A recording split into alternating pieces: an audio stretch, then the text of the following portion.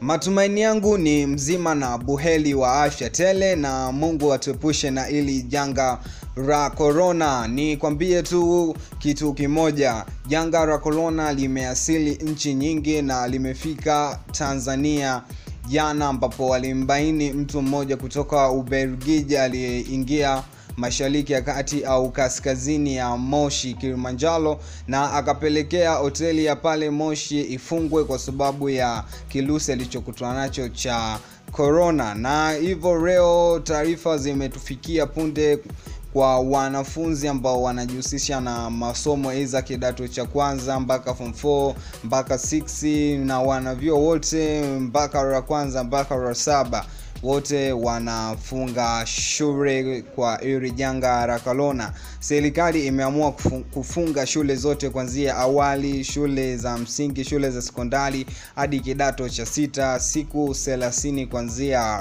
leo. Ziara itafanyika marekebisho ya ratiba ya mtihani ya kidato, kidato cha sita, lengo likiwa ni kujikinga na corona ya taarifa kutoka serikalini kwamba wanafunzi wote mpaka kidato cha sita wamefunga vyuo kutokana na hili janga linaloitesa dunia nzima la korona Mi nikwambie tu usipuuzie hili janga la korona lipo serious. Kumbuka kuwa makini, kunawa mikono kila mara, kuvaa maksi. Maksi zinauzwa saizi, wahi madukani hapo uchukue maksi yako uendelee kuvaa, usisahau kununua na gloves.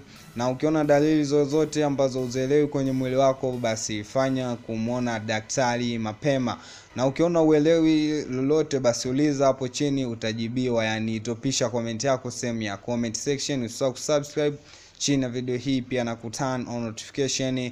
Masesio update we out.